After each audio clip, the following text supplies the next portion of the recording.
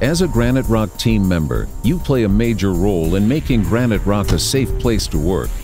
By striving to develop and maintain safe work practices associated with the 12 life-saving habits, you can reduce your own risk of a serious or fatal injury, as well as risks to other team members. Lockout, tagout, verify, life-saving habit number two. This process separates you from danger such as electricity, pressure, and other forms of hazardous energy. Earlier, I shut down the lines leading to the tank and shut off the valves so that the heating coils could cool. I'm now going to verify that all hazardous energy sources are locked out and that the equipment will not operate before I begin work. Safety before all else. It's at the top of our core values for a reason. That reason is you.